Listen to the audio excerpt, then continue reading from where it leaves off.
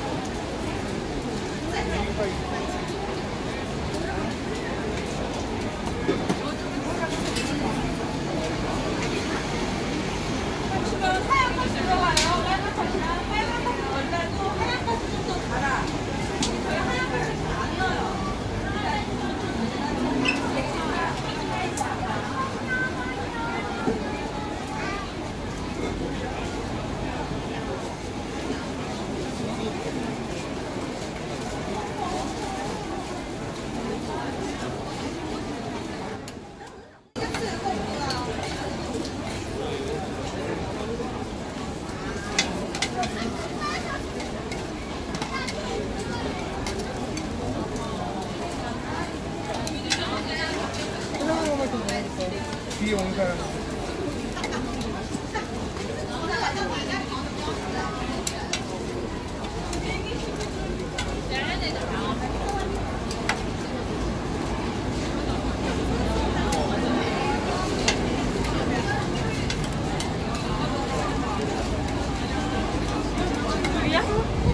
Thank you.